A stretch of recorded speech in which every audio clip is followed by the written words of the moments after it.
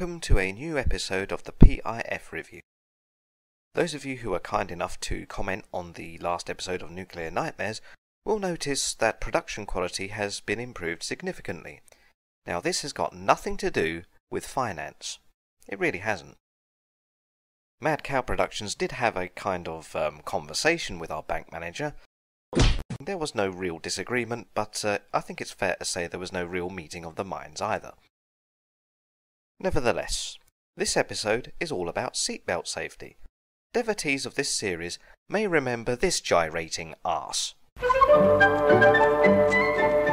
Meet Mr. Blunders. That's right. He's the bibbling twonk who nearly caused someone to lose their life because he was totally unable to keep his mind where the rest of his body was.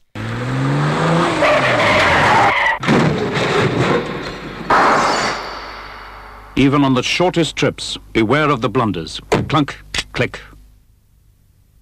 Now that was certainly a classic PIF, but the COI hadn't finished with the blunders yet. Oh no, indeed they had a whole family to choose from. This evening, young Billy Blunders has borrowed the keys to the family car. He's looking forward to an exciting night out, and he's got every confidence in his driving ability, which is more than his dad has. What does he mean he's gonna put his foot down? I'll show him what putting your foot down means. Stupid. What? Hello? Me Dandros back again. Hold up. Me luck will be in here. Hello, love. Clear off. Oh, well, can't win 'em all. I know. I wonder what that little Karen's doing tonight. You could meet Billy Blunders on your way home from work. And no matter how well you think you know the road, no matter how sensibly you drive, Billy Blunders could be round the next corner. That's why you should always wear your seatbelt.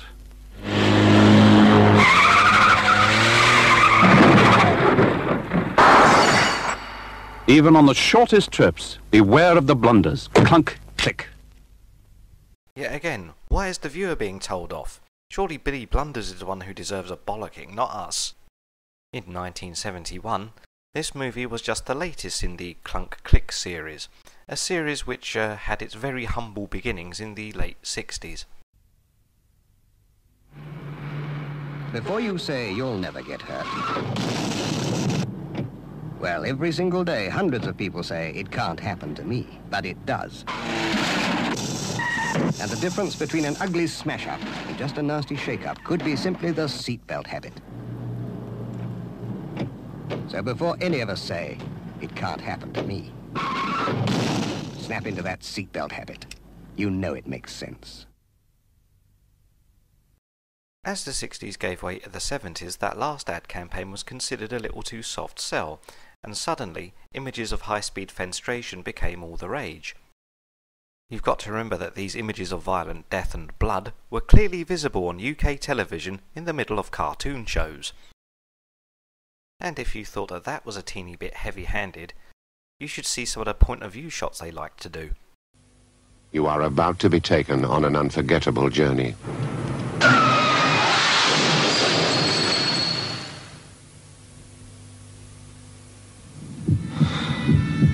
Oh, God. Don't worry, mate. I won't be long. I'll, I'll get someone. You couldn't have been doing more than 20. It should be What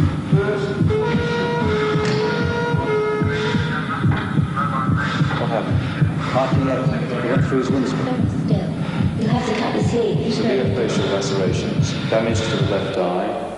You'll never forget a trip through your windscreen, so remember to put on your seatbelt. Soon you may have to by law, but you can get into the habit now. Clunk, click. Say what you like about PIFs, I think they give us a good insight into what Dario Argento and Tobe Hooper got up to on their day off. But if such scenes of violence aren't really your cup of tea, don't worry about it. How would some visual imagery grab you?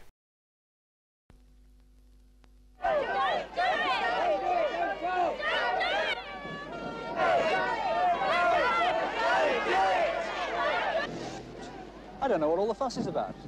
Taking a short trip round town without a seatbelt can be just as risky. It can, you know. If you have a crash at only 30 miles an hour and you don't have a seatbelt to restrain you, you're liable to go through the windscreen with the same force as if you dived head first through that glass roof 30 feet below. Anyone who thinks it's mad to take a risk like this must think it's mad to drive around town without a seatbelt on.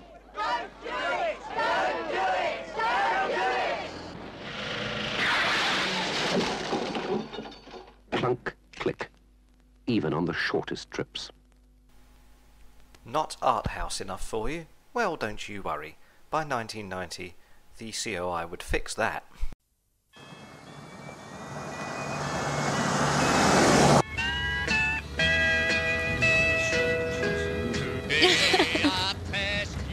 In a crash at 30 miles an hour, an adult backseat passenger without a seatbelt is thrown forward with a force of three and a half tons.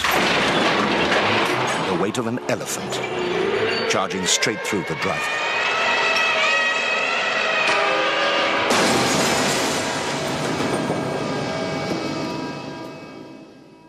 You're never safe in the back until you fasten your seatbelt. Never forget. The COI have got horror movies to suit every taste. As you may have just worked out, the focus has been moved from the drivers to the passengers, and this gave rise to a lot more happy films.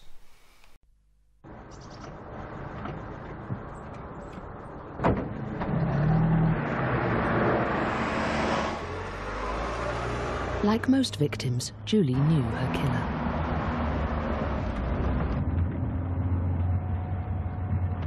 It was her son. He wasn't wearing his seatbelt. After crushing her to death, he sat back down. Think about wearing a seatbelt.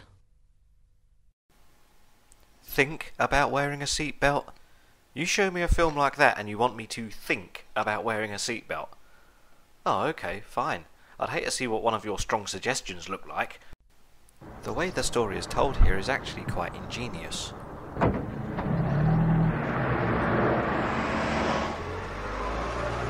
Like most victims, Julie knew her killer. That line alone makes it perfect for insertion into any cop show that It was her ITV might have been running at the time. He wasn't wearing his seatbelt. After crushing her to death, he sat back down. Think about wearing a seatbelt. If murder mystery analogies, or near death experiences, or classy visual imagery weren't doing it for you, then the COI had a perfect go to in cold hard scientific fact. Richard didn't want to die, but he couldn't stop himself. The collision with the car didn't kill him, but he wasn't wearing a seatbelt, so he continued on his journey. When he hit the inside of the car, that didn't kill him either.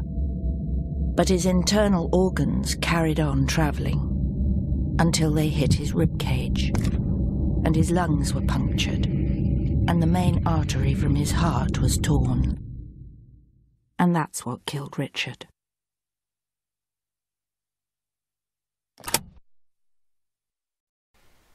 Hammer Films didn't go out of business in the 1970s, they simply got jobs with the government. So that's what happens to a lone driver. What would happen to a car full of passengers? Well, don't worry, they've thought of that too. Every year, about 1,300 children are killed or seriously injured in cars.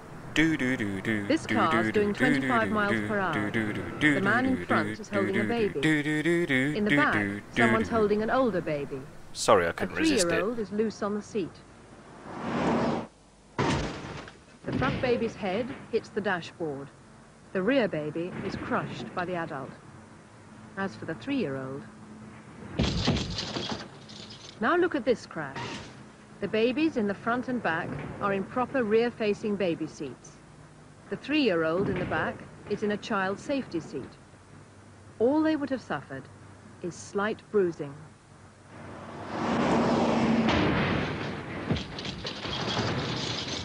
Protect your child. Fit rear seat belts or child safety seats. Harrowing as these films certainly are, it's not as if they don't have an important point to make. I've always thought it a bit of a shame that the government actually had to step in to tell people to use their common sense in some cases and to encourage them not to do something which was a bloody stupid idea in the first place in others. But these PIFs are more than just a little trip down memory lane or a way to give our fear senses a little tickle. If you look at them very carefully, they all have something to say about how you make films. I think leading studios should pay attention to these. Yes, Rob Zombie, I'm looking at you.